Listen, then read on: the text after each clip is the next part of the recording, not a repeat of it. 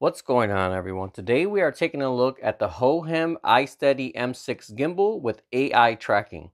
Taking a look at the specs, this has a 3-axis gimbal, a magnetic fill light with a built-in AI sensor, iSteady 7.0 stabilization, a built-in OLED display, a maximum payload of 400 grams, and weighs 551 grams. Taking a look inside the box, everything comes inside of this nice case here. And inside this, you have the gimbal itself, a tripod attachment, a charging cable, which also has another cable in the box. So you have a regular USB-C charging cable, and then they also give you this nice coiled cable, which is to charge your phone from the gimbal as well. Last but not least, you also get a very detailed manual. So before moving on to the gimbal, one thing I love about this case is the extra space that it has. With a lot of other gimbals, they only fit in the case in a certain position, but this one actually has extra room here so you can put it back in any position. So typically when you balance your gimbal, it'll make one part stick out further than the rest. And I have two other gimbals I used before, and the case is always form-fitting to fit a certain size. But with this one, you can see there's more space here. So you can slide this all the way down or all the way up and it's not gonna get in the way of anything and you're still gonna be able to store it in there just like that and close it up. So in the end, this is gonna save a lot of time as I no longer have to redo everything after I take it out of the case. So I just balance it, put it in the case. Next time, take it out exactly as it was and it's already balanced for my phone. So taking a look at the gimbal itself, this feels like a very well-made gimbal. It's not that heavy, but it has a nice and solid premium feel to it. Coming down to the handle, you have these ridges on here, which feels like they should help with keeping a good grip as well. So taking a look at the buttons, you have your power button here at the side, as well as your charging port, which is a USB-C. Coming to the other side, you have your multi-function dial here, which can be used for roll, focus, and a few other things as well, which we'll go over shortly. Next to this, you have your A and B buttons, which is used to make very cool moving time-lapse videos. So typically with a time-lapse on your phone, it'll just stay still. But with this, it'll actually scroll from left to right to make a smooth and much more dynamic time-lapse. Coming to the front, you have your trigger here, which activates sport mode for faster tracking, recenters the gimbal, or if you click it three times, it'll also flip the phone around so you can film yourself as well. Lastly, looking at the center of the gimbal, you have your OLED information screen on top.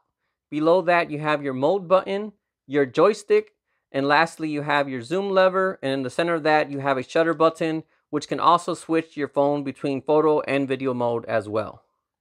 As I said earlier, this gimbal also includes a tripod that attaches to the bottom. Beside a tripod, this can also be used as an extended grip here at the bottom, or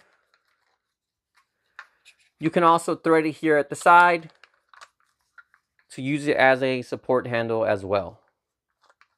Another cool feature of this gimbal is its ability to quickly change from landscape to portrait mode. This simply clicks into the place you want it and just like that you can easily switch from filming a regular video on YouTube to portrait mode for your Instagram or TikTok videos. All right, so I've been using this for a few weeks now, and honestly, it's been a very good gimbal. Granted, I'm not doing any advanced shots, but for my uses, it's been completely problem-free.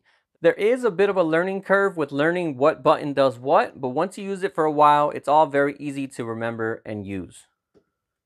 So taking a look at the modes, this has PF or pan follow mode, PTF, which is pan and tilt follow, L, which is everything locked, and POV, which allows every axis to move and smoothly follows all your movements. Lastly, if you click the mode button three times, you get what they call ICP or inception mode, and this gives you a unique 360 degree spinning shot.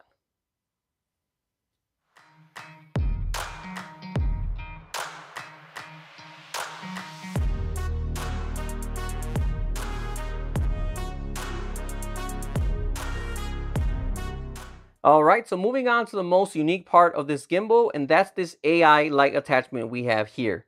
Using this attachment basically gives your gimbal a unique follow me mode. This is not only going to save people a lot of time, but also remove needing a camera operator in some situations as well. All right, so to use it, you simply connect it here on top, which has a very nice magnetic connection. Come to the side over here, there's a little on switch. Turn that on, and just like that, it's now ready to be used. As you can see here, it has a little sensor, and this is used to not only track you, but also read smart hand gestures as well. One awesome part of the AI sensor is no software is required. There's nothing to click or open up on your phone, but instead it's all done with visual hand gestures. All right, so I have my son here who will be demonstrating the AI features. He's only 10 and he quickly learned how to do everything. So that just goes to show how easy all of this is to use. So to make the gimbal start tracking you, you simply make the OK sign. And as you can see, the gimbal will now keep you centered in the frame and start tracking your movements. Then when you want to stop tracking, you simply put up your palm. And as you can see, once again, it'll now stop tracking you. The response time on this is also very fast as well, which is not something I initially expected. By default, the gimbal will track you in the center of the frame, but if you for some reason want to be somewhere else in the shot, you simply make a double L sign, position yourself where you would like to be, do the sign again, and as you can see, it'll now track, but with your new set position instead. Overall, this is very cool as this is going to make it a lot easier to film without help and save you time from not having to come back and mess with your phone as well. The sensor can also be placed in either direction. So if you're filming with your front camera, you can place it facing you. But if you're filming with your back camera, you simply turn it around. And like I said, it has a magnetic connection. Clicks on there, and now you can use it the other way as well it works completely independent on its own. So you could have your phone off for all you want it, and the AI tracking is still going to work on the gimbal as that's something built in the gimbal and not relying on your phone.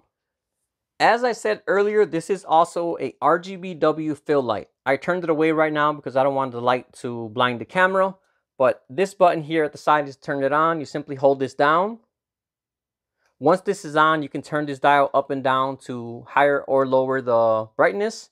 And if you press it one more time, you can use the same dial to change the temperature as well. And as you can see here on the screen, it tells you the temperature and the brightness readings as well, which makes it very easy to get a certain temperature or brightness that you know you like. Lastly, if you click the same button three times, it'll now switch to RGB mode. And same as before, you just turn this wheel to get the exact color you want. I think most of the time I'll be using the white tones, but having the RGB there is great to have in case you do want to achieve a certain look for your shot. One other thing I really like about this is typically when lights have a white mode and the RGB mode, the white would be very bright and then the color modes will be very washed out. But even on color, this is still a very bright light. Overall, this is definitely a great gimbal. Even though it has a built-in fill light and AI tracking features, it's still a comparable price to other similar gimbals as well. So honestly, it seems a little silly to buy a regular gimbal when you could spend about the same and get a more feature-packed and smarter gimbal like this one. Beside this gimbal, I also own the Smooth 5 Original, and between the two, this is the one that I prefer to use. Overall, if you happen to be in the market for a new gimbal, then I would highly recommend this one here from Hohem, which again is the iSteady M6. All right, that about wraps up this video. As usual, if you have any questions at all, feel free to drop me a comment. Otherwise, thanks for watching, and I'll see you all next time.